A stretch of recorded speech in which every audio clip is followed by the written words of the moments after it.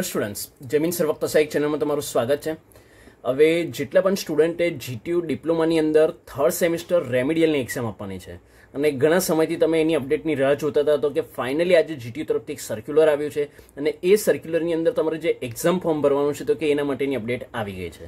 અને આ જે એક્ઝામ ફોર્મમાં જે ડેટ આપી છે કે કયાથી કયા સમયગાળા સુધીમાં તમારે એ ફોર્મ ભરવાનું છે વિધાઉટ પેનલ્ટી તો કે એ ડેટના બેઝ પર આપણને તમારી એક્ઝામ રેમેડિયલ એક્ઝામ થર્ડ સેમની ડિપ્લોમાની ક્યારે થઈ શકશે, તો કે એનો પણ ખ્યાલ આવી જશે.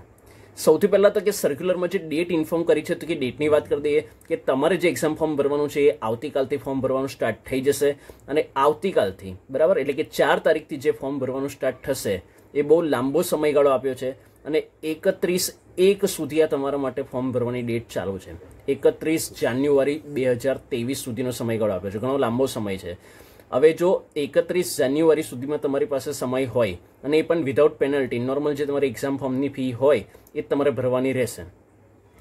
હવે જીટીયુનું જે રીતે આપણે જાણીએ છીએ એ પ્રમાણે, તે કે લગભગ એના વન વીક પછી એ લોકો વિથ પેનલ્ટી પણ તમને ચાન્સ આપશે કે કદાચ કોઈ સ્ટુડન્ટ એવા હોય આપણા કે જેમને આટલો લોંગ ટાઈમ પીરિયડ આપવા છતાં પણ એક્ઝામ ફોર્મ ફિલ નથી કર્યું, બરાબર? અને એ લોકો એક્ઝામથી વંચિત ના રહી જાય, તો એમને અઠવાડિયું બીજું પણ આપશે કે જેની અંદર એ લોકો પેનલ્ટીઝ સાથે એ લોકો ફોર્મ ભરી શકે અને આગળ પ્રોસેસ કમ્પ્લીટ કરી શકે.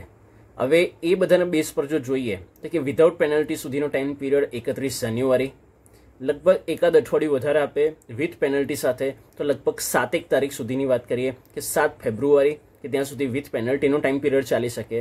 તો આ બધા કેલ્ક્યુલેશનના દેશ પર એક આઈડિયા આવે કે લગભગ દસ ફેબ્રુઆરીની આસપાસ, બરાબર? દસ ફેબ્રુઆરીની આસપાસ તમારી જે થર્ડ સેમિસ્ટરની રેમિડિયલ એક્ઝામ છે, તો કે એ સ્ટાર્ટ થઈ શકે છે. કારણ કે અત્યારની જેટલી પણ અપડેટ આવી રહી છે એક્ઝામ ફોર્મ રિલેટેડ તે બધી વસ્તુના બેઝ પર આપણને આ જ ખ્યાલ આવી શકે કે દસ ફેબ્રુઆરીની આસપાસના સમયગાળામાં એવા દરેક વિદ્યાર્થીએ તૈયારી રાખવી પડશે કે જે લોકો થર્ડ સેમ ડિપ્લોમા રેમિડિયલ એક્ઝામનો વેઇટ કરી રહ્યા છે.